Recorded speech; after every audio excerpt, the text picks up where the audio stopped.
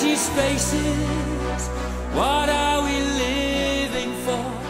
Abandoned places. I guess we know the score. On and on. Does anybody know what we are looking for? Another hero. Another mindless crime behind the curtain in the past.